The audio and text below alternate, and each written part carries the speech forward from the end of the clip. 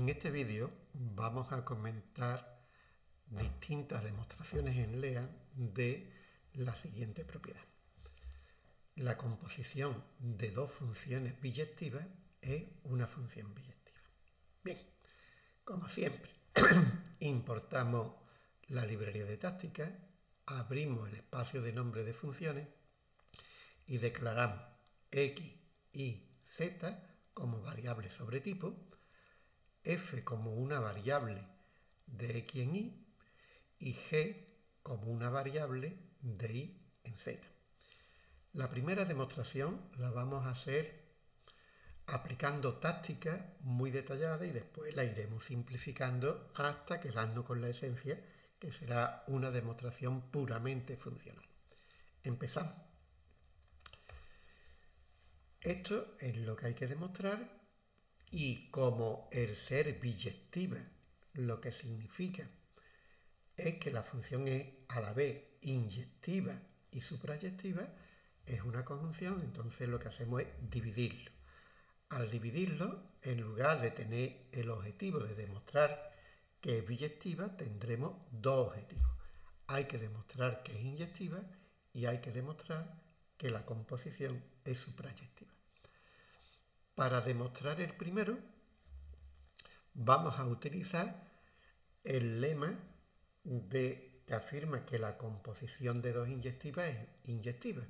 Decimos que lo aplique y entonces este problema no lo va a volver a dividir en dos problemas. Hay que demostrar que la G es inyectiva y hay que demostrar que la F es inyectiva. Ya tenemos los dos problemas, el primero y el segundo para demostrar que, vamos a centrarnos en el primero, aquí, para demostrar que G es inyectiva, como sabemos que la G es biyectiva, entonces la primera parte de la conjunción de biyectiva ya nos garantiza que G es inyectiva. Es decir, nos quedamos con la primera parte de la hipótesis G. Con eso ya lo hemos demostrado y de la misma forma, quedándonos con la primera parte de la hipótesis que afirma que f es biyectiva, ya también tendremos la segunda parte. Ahora tenemos que demostrar que la composición es suprayectiva. Bueno, pues análogo.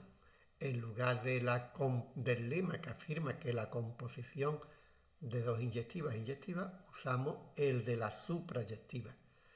Otra vez nos divide el problema en dos y ahora en lugar de quedarnos con la primera parte, pues nos quedamos con la segunda parte. Ya digo que este ha sido muy detallado. ¿Podemos simplificarlo? Sí, porque en lugar de aplicar y después aplicar, quedarnos con cada una de la primera parte, bueno, pues lo podemos aplicar el exactamente el lema aplicado a en lugar de punto izquierda, también podemos poner punto 1 y lo mismo para la suprayectiva. Veis que aquí ya algo lo he simplificado. ¿Podemos seguir simplificando? Sí, porque en lugar de decir divido y después agrupo, bueno, pues lo puedo hacer directamente con la conjunción.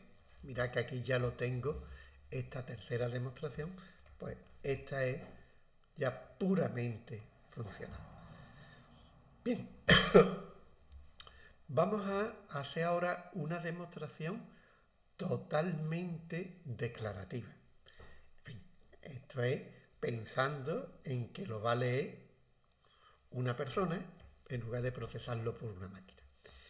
Entonces, primero, de la parte izquierda de HG ya tenemos que G es inyectiva y a eso le vamos a poner un nombre. G inyectiva. Lo mismo en la parte derecha nos va a decir que G suprayectiva. Lo mismo con la F. F inyectiva, F suprayectiva.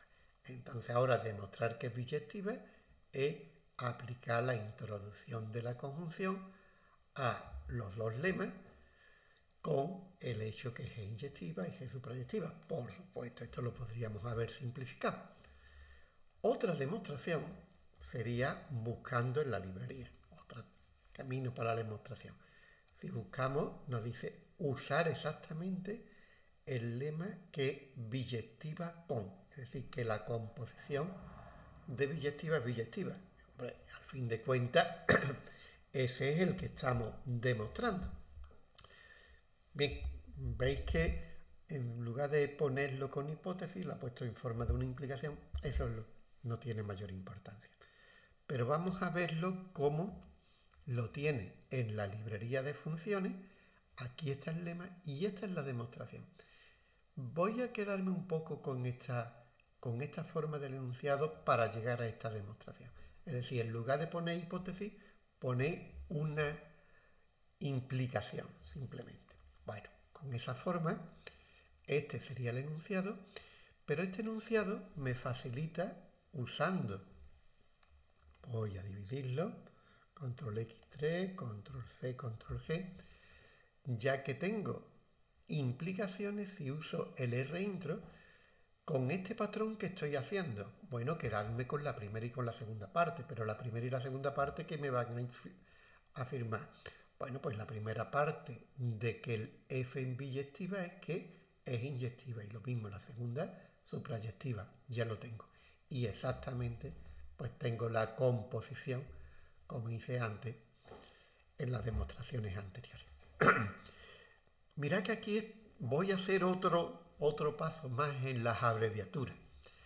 Aquí tengo el lema, la, composición de inyectiva, pero como la G es inyectiva, puedo escribirlo de esta otra forma, es decir, le aplico a el hecho de que G es inyectiva, le aplico la composición.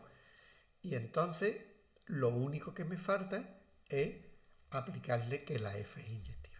Veis que esto es como lo tenía en la demostración.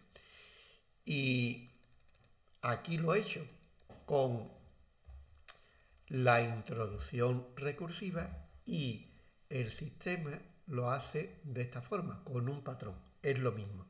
Es más, en realidad esto es una expresión lambda y esta última demostración, que también es con un lambda término, pues es muy parecida a la que habíamos, a la que habíamos obtenido anteriormente y a la que el sistema tiene en como la demostración del lema, es decir, a este. Me estaba refiriendo. A ver, esta de aquí. Bueno, pues con eso terminamos estas nueve demostraciones y ya hemos demostrado de nueve formas distintas que la composición de dos funciones inyectivas es inyectiva. Y eso es todo.